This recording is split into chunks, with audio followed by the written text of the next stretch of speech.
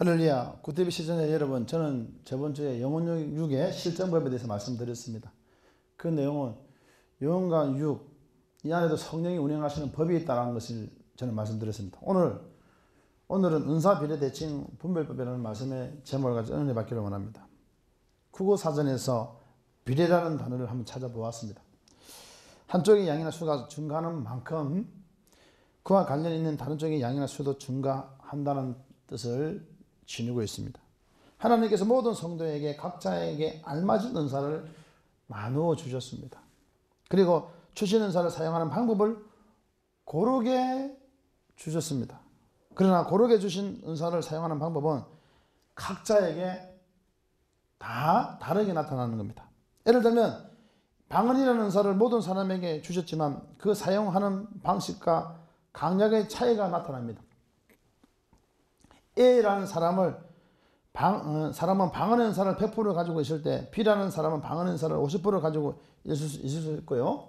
또는 C라는 사람 방언 은사를 200% 가지고 있을 수 있습니다. 그리고 A라는 사람에게는 그 은사는 100% 나타나고 B라는 사람은 그 은사가 50% 나타나고 C라는 사람은 그 은사가 200% 나타납니다. 이와 같이 하나님께서는 각자에게 주신 은사가 주신 만큼 나타나는 것이 비례인 것입니다.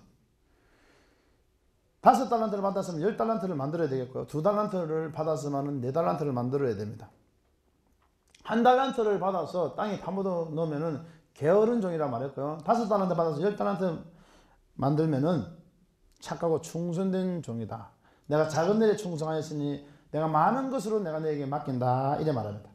이런 칭찬받는 성도들이 되시기를 예수님 축원합니다. 반비례를 예를 들어본다면요. 내가 방언 은사를 100% 가지고 있을 때 상대방이 방언의 은사를 50% 가지고 있는 경우 혹은 내가 방언의 은사를 100% 가지고 있을 때 사용할 때 상대방의 은사를 200% 가지고 사용하는 경우를 말하는데 방언이라는 은사를 예를 들었지만 다른 은사도 마찬가지입니다. 어떤 사람은 가르치는 은사를 주셔갖고 잘 가르치게 하시고 어떤 사람은 말을 잘해서 말을 잘 전달을 잘하게 하고 이해를 시킬 수 있는 능력을 주셨고 어떤 사람은 한상이 또 열려서 또 그걸 해석할 수 있는 능력을 또 주신 분도 있고 어떤 사람은 직업적인 일에서 기능적인 인사로서 잘 이렇게 뭡니까? 다독거리고 연합하고 그런 사람이 있고 어떤 사람은요 어, 그 사람만 가면은 그 판이 깨지는 거예요. 매일 다투고 냄새 나고 그런데 어떤 사람은 그 사람 가면은요 막 깨어진 것도 부드럽게 유순유순하게 잘 넘어가고 잘 맺어지는 역사가 나타납니다. 은사는 각양각색 다르게 나타나지만은 이 은사를 주신 분은 누구냐? 하나님이시고 하나님 안에서 우리가 새롭게 거듭난 삶을 살 때 하나님 우리에게 복의 근원 되게 하시고 복을 주시고 은혜를 주심을 믿으시기를 예수 이름으로 축원합니다. 은사를 비례적으로 가지고 있는 반비례적으로 가지고 있든 중요하지 않습니다. 하나님께서는 모두에게 은사를 주십니다. 예, 주시는데 각자 동일하게 또는 근접하게 가지고 있기에 은사 비례대칭이라 저는 말을 예, 엮어서 은사 비례대칭이라는 말을 한번 써봤습니다. 어떤 은사 사역자가 이런 이야기를 합니다. 본인은 은사를 많이 가졌다는 거야. 아님, 보냄, 듣님 다 보인다는 거야. 들린다는 거야. 그리고 직통 계시를 받는다는 거야. 나는 직통 계시는 안 받는데 그분은 직통 계시를 받는다고 했습니다. 구티브 시청자 여러분들 중에서도 여기 또 방청객들도 그 중에서 직통 계시 받는 사람이 있지요. 음, 다 보인다는 거예요. 보이는 게 중요하냐? 중요한 것은 하나님 형상을 빚어졌어요. 인간이 되고 사람이 되는 게 중요합니다. 한산과 투시를 다 보고 있으면 어떤 사람 다 보인다는 거예요. 연계가 열려서 합상 열렸다는 거예요. 뭐 때문에 직통 계시를 받고 있다는 사람이 있습니다. 직통 계시를 받는 사람에게 이렇게 물어봤습니다. 당신은 직통 계시를 받는다고 했는데 당신 내면을 볼 수 있습니까? 그러니까 못 본다는 거야. 직통 계시 받는 거고 영안이 열린 거는요. 당신 내면을 볼 수 있어야 됩니다. 꼬락선을 볼 수 있어야 직통 계시에 가깝습니다. 이래 말했습니다. 영안이 열린 것은요. 한상각 투시가 열린 것이 아니고요. 영안이 열린 것은 내 자신 내 모습을 볼 수 있는 자가 영안이 열린 것입니다. 여러분 연기가 열렸기 때문에 직통 계시 받고 있다고 있습니다. 그리고 자기 자신은 영역을 강하게 받았기에 상대방이 가지고 있는 은사가 보인다는 거야. 어떤 은사 가지고 있고 어떤 은사 가지고 있고 어떤 은사 다 보인다는 거야. 그래서 방언은 너무 흔하기에 그게는 별로 그 관심이 없다는 거예요. 관심이 없고 상대방이 가지고 있는 은사를 다 훔치고 뽑아버린다는 거야. 능력이 있어가지고 뽑는다는 거예요. 어떤 사람이 자신의 것으로 만들어서 자기의 영광을 더 강하게 어? 정권을 더 강하게 만든다고 말하는 사람이 있습니다.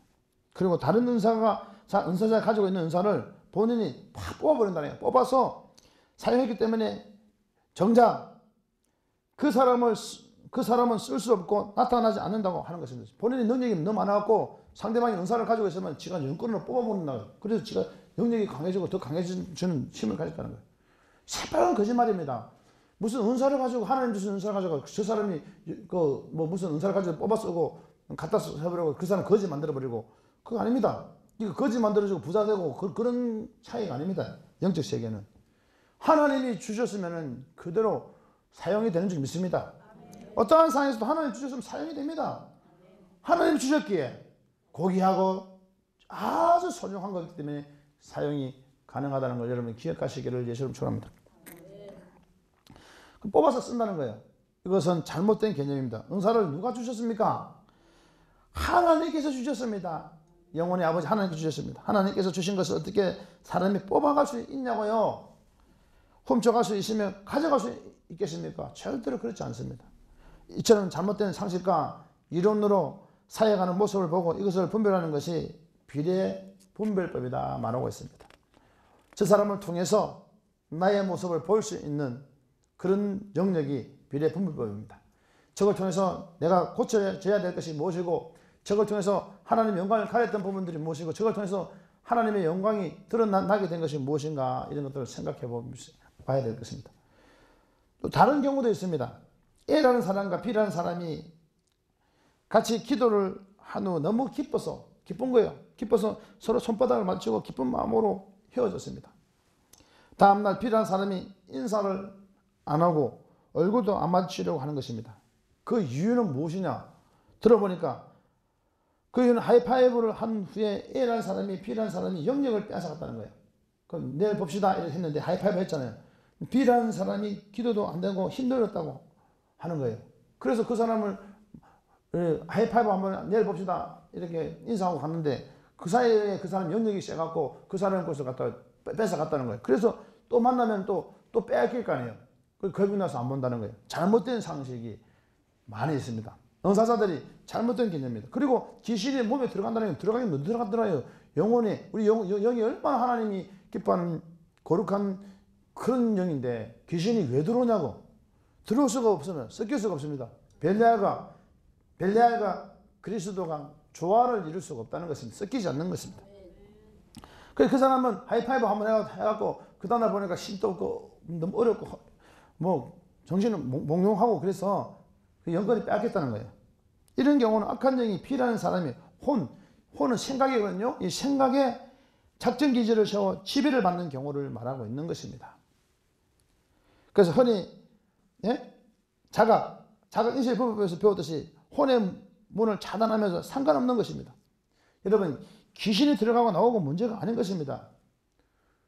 그래서 여러분 이럴 때는 우리는 불쌍히 여겨주셔요. 국률이 여겨주셔. 그 사람에게 기도를 해줘야 됩니다. 여러분 보세요. 애란 사람이 귀신 들렸다 칩시다. 영적인 병이 들었어요. 그런데 기도를 해주면요. 거기 내가 영역이 약하면 거기서 지배하고 있고 그 들어가 있던 귀신 내게 들어와서 덮어 씌다는 거예요. 난 그런 하나님을 안 믿어요. 말도 안 되는 소리지 않습니까? 하나님은 온 늦은 마음을 지고 전지전능하신 하나님입니다. 능력이 많고 우리가 믿는 하나님은 전지전능하신 전능, 전지 전능하신 하나님이면 불가능을 가능케 하신 하나님이고 그 능력이 하나님이 함께 하시는데 그 하나님 함께 하시는데 당연히 하나님의 일을 하기 위해서 사역자로서 도구로서 쓰임 받는데 하나님이 내 영혼을 하나 지켜주지 못하고 거둬주지 못한다면 그런 하나님을 왜 믿냐고요. 잘못된 것입니다. 성경에 보니까요. 십개가 벗개가 뺏겨 빼앗겨갔습니다. 블레셋 진전에 진전에 잡혀갔습니다. 그런데 다곤의 신상 앞에 놓여졌는데 다곤의 신상에 있는 신상들이 아침에 목, 목도 부러지고 다리도 부러지고 다 부러져가 있는 거야. 그러면 이것을 보면 무엇입니까? 절대자인 하나님, 하나님의 일을 하는 주, 주의 일꾼들이 가는 것마다 하나님이 지키시고 역사하는 줄 믿습니다. 그런데 가는 데마다 기도해주면 제 귀신 들린 것이 내게 들어온다고 하- 그런 이론을 잘못 알고 있으면은 그런 사, 사고방식으로 사역을 하면은 그러면은 무서워서 어떻게 사역하냐고. 이미 그 사람은 그렇게 하면 기도해주면은 그, 그 영이 약하면은 그 사람이 있는 것이 내게 들어온다고 하면 내가 마음의 문- 문을 열어놔서 귀신에게 생각으로 혼의 지배를 받았습니다. 그러니까 악한 역사할 수밖에 없고 저는 그 이론은 잘못됐다고 봅니다. 하나님이 일을 하고 담대히 하러 가면 하나님이 어떠한 상황에서도 하나님의 일이기 때문에 하나님이 말씀하셨기 때문에 순종함으로 하나님이 영광을 볼 수 있는 은혜를 주셔서 악한 영을 내려 쫓으며 귀신을 몰아내며 뱀을 잡으며 무슨 독을 마실지라도 해를 받지 않으며 병든 자에게 손을 얹는 역사가 나타남을 믿으시기를 예수는 축원합니다. 은사- 우리가 은사 사역을 할 때 상대방을 통해서 느껴지는 것을 정비례 잘못 알고 있는 것이 반비례라고 말하는 것입니다. 은사는 오직 힘의 논리만이 지배하는 경우에 사용하는 표현이 양육 강식의 문제가 아닌 것입니다. 상대방이 가진 은사가 100% 사용되고 내가 가진 은사는 50% 정도 사용될 수밖에 없기에 나의 은사가 상대방의 은사를 눌려 빨려 들어가는 개념이 아닙니다. 단 이런 것들은 분별할 수 있도록 하나님께 우리에게 보여주신 것입니다. 여러분 주위에 잘못된 은사 사역자들이 있으면 불쌍히 여겨주고 기도해주는 그런 은혜가 있기를 예수로 축원합니다. 은사를 사용함에 있어서 영역, 영역의 차이는 있을 수 있습니다. 하나님에게 영권을 많이 받은 사람과 적게 받은 사람의 차이는 있을 수 있겠지만은 정비례를 가진 자가 반비례를 가진 자를 영역으로 제압하고 지금 힘이 센 사람이 힘이 약한 사람을 탁 눌려버리고 빼앗고 은사의 통로를 막고 할 수 있는 것이 아니다 이 말입니다. 그 힘 센 사람이 영역을 많이, 많이 받을 때하고 영권 적은 사람을 확 눌려버리고 그 은사를 확 뺏어갖고 내가 쓸 수 있는 그런 게 아니에요. 하나님은 각양 각생에 각자에게 다양하게 은사를 주셨습니다. A라는 사람은 A라는 은사 맞게끔 B라는 사람 사명에 따라서 맞게끔 C라는 사람 그 사명과 소명의식에 따라서 맞게끔 주셨다는 거죠.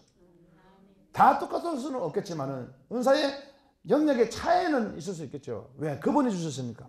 토기장이가 진을 감당기를 가지고 하나는 천이 쓸 건이 있고 하나는 기쓸 건이 있겠습니까?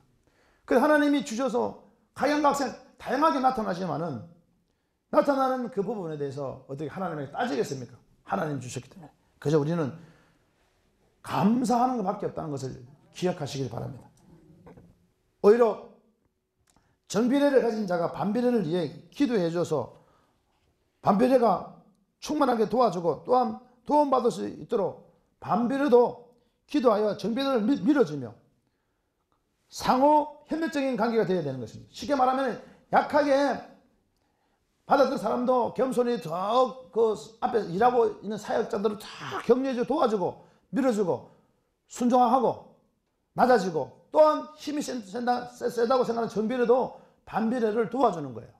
연약한 그릇을 일깨워주고 기도가 막히지 않게끔 도와주고 그자가 생각이 잘못된 것을 바로 일깨워주고 생각의 차이가 무엇인지 잡아주며 또 잘못된 것을 또 예, 끌어주고 만져주는 그런 모습이 하나님이 원하는 사역인 줄 믿습니다.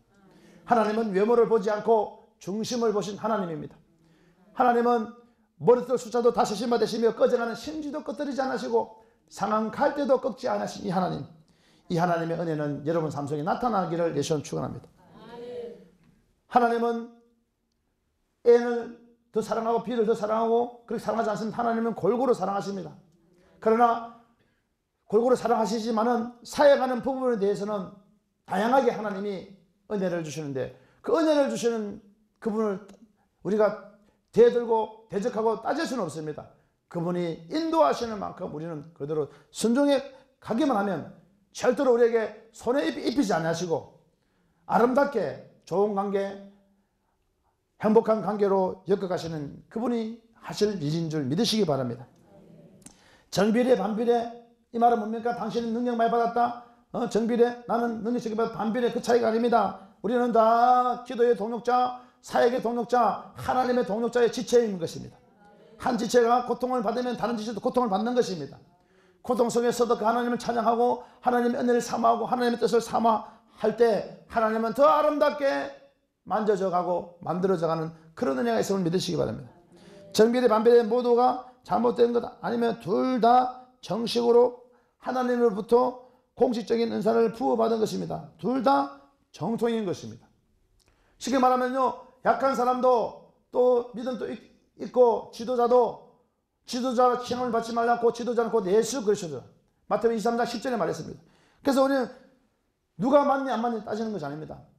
약한 부분들은 강한 사람들이 덮어주고 끌어주고 또 약한 사람들은요 또 강한 사람들의 말을 순종하면서 연합해 갈 때 아름답게 신령한 집을 지어가는 것입니다. 고린도서 3장 16절에 너희가 하나님의 성전인 것과 하나님의 성령이 너희 안에 거하신지 알지 못하느냐 누구든지 하나님 성전을 더럽히면 하나님 그 사람을 멸하신다 말하고 있습니다.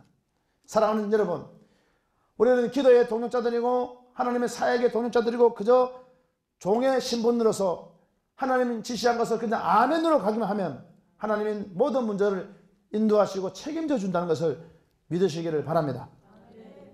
또 다른 사, 사례도 있습니다. 어느 한 가정에서 구역장이 신방을 갔는데 신방 신장자가 부목사님, 전도사님 동석 하되 강도사님의 동석을 원하지 않는 경우가 있었습니다. 이유는 무엇입니까? 라고 물었습니다. 귀신 들린 자가 무섭다고 오지 말라고 하는 사람은 영적으로 봤을 때 소위 영적으로 강하다라고 생각되는 사람입니다. 영적으로 약한 자가 강한 자를 봤을 때 정비례라고 보기 때문에 그러나 이미 설명드렸듯이 정비례, 반비례든 동일해서 하나님은 하나님의 섭리 가운데서 골고루 역사합니다. 약한 사람, 뭐 강한 사람 골고루 역사합니다. 여러분 음식을 먹을 때도요 골고루 먹어줘야 됩니다. 매일 맛있는 고기만요 대다 먹고 소고기만 좋아해서 소고기만 먹으면요 비만으로 찝니다. 그보다도 더 중요한 것이 소고기를 매일 먹으면 돈이 문제입니다. 어? 돈이 문제입니다. 그리고 먹고 싶어도 못 먹습니다. 마찬가지로 한 가지만 먹으면 안 되는 겁니다. 말씀으로 분별하는 비례대칭도 있습니다. 말씀으로 여러분 분별할 때 때는 성경으로 돌아가면 되는 겁니다. 예를 들어 엘리사가 빚을 져서 두 아들을 종으로 보내야 되는 가부에게 한 사역을 보면 은 정비례로 말씀 사역을 했다는 것을 알 수 있습니다. 열왕기 4장 2절과 4절에 보시게 되면은 엘리사가 그에게 이르되 내가 너를 위하여 어떻게 하라? 내 집에 무엇이 있는지 내게 말하라. 그가 이르되 계집종의 집에 기름 한 그릇 위에도 아무것도 없나이다 하니 이르되 너는 밖에 나가서 모든 이에게 그릇을 빌리라. 빈 그릇을 빌리면 조금 빌리지 말고 너는 내 두 아들과 함께 들어가서 문을 닫고 그 모든 그릇에 기름을 부어서 차는 대로 옮겨 놓으라 하니라 했습니다. 그리고 엘리사의 사역에 받아들이는 가부 역시 의심하지 않았습니다. 쉽게 말하면 정비례로 말씀하고 하나님 음성을 받아서 그들은 말해줬는데 반비례로 믿음이 약해서 영적 세계가 막혀있고 또한 가난해서 너무 어떻게 해결해야 될 그 상황도 안 되는 그런 안타까운 시, 심정에 지푸라기라도 잡고 싶은 심정으로 엘리사를 통해서 말씀하신 하나님을 믿고 그대로 의심하지 않고 순종했습니다. 의심하지 않고 말씀에 순종하여 엘리사의 말대로 행했습니다. 똑같이 이것이 정비례인 것입니다. 순종하여 행하였더니 기름이 채워졌고 그, 그 기름을 팔아서 남은 빚을 갚을 수 있게 된 것입니다. 열왕기 4장 5절과 7절에는 이래 말합니다.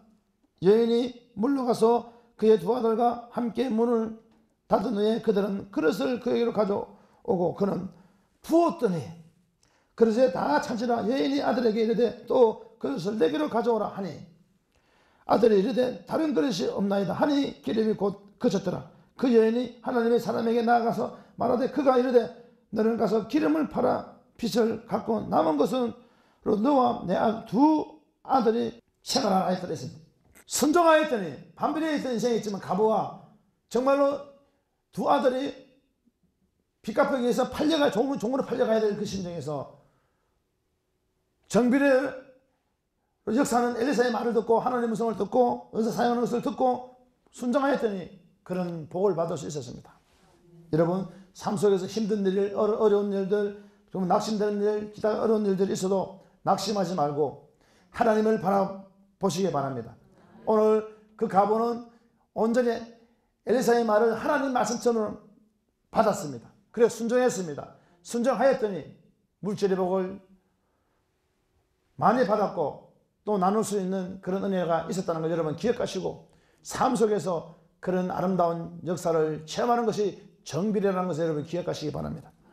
이런 것이 말씀으로 보는 비례대칭인 것입니다. 이와 같이 우리도 우리의 삶에 똑같이 적용해야 되는 것입니다.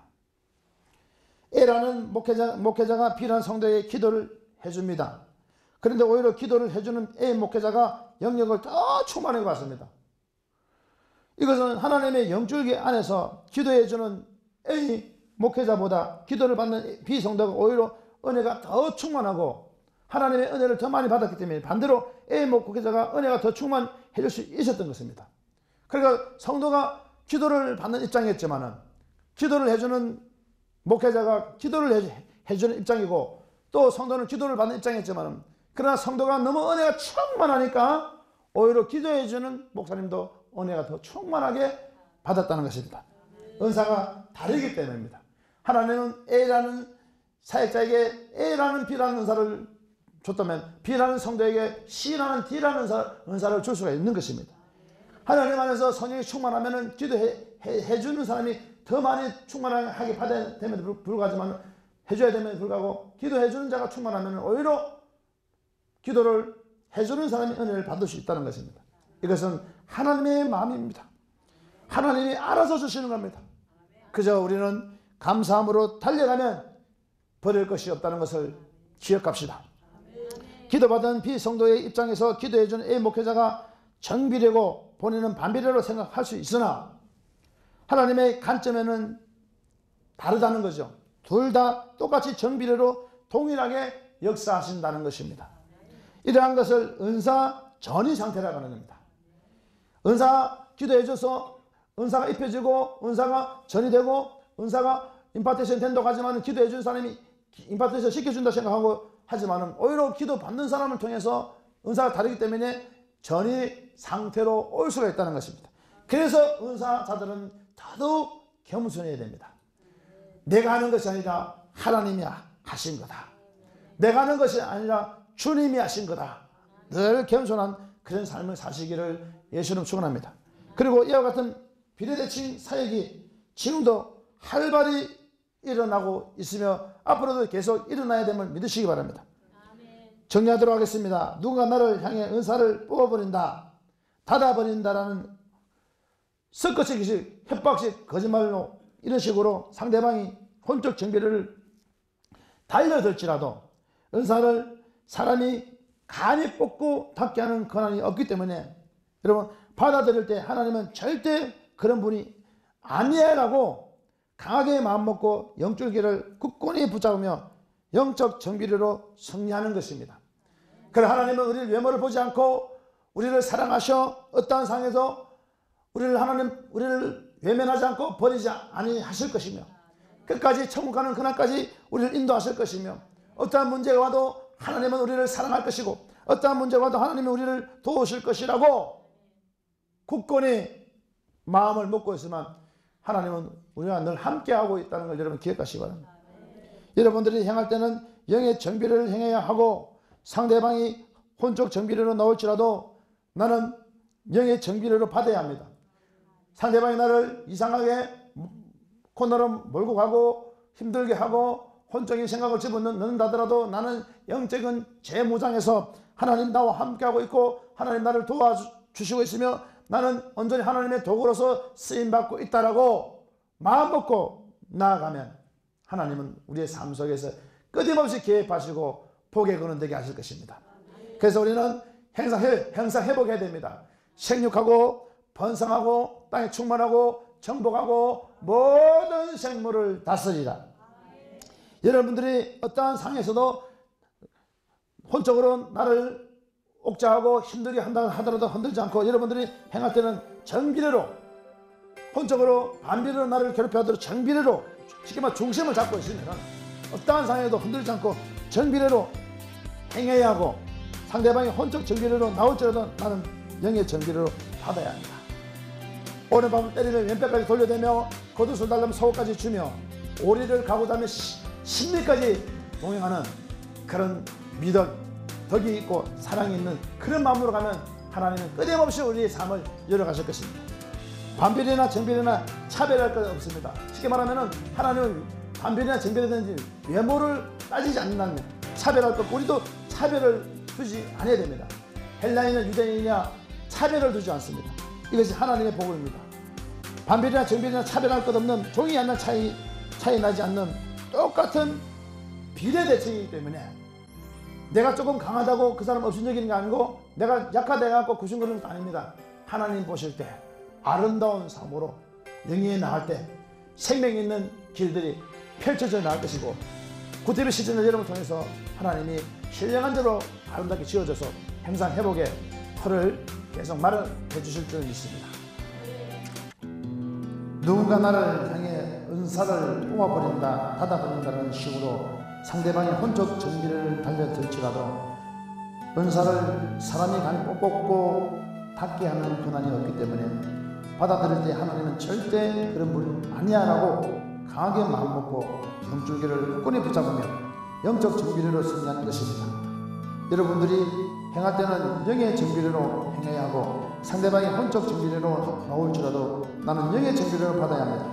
반비례나 정비례나 차별할 것 없는 종이 한장 차이 나지 않는 똑같은 비례대칭입니다.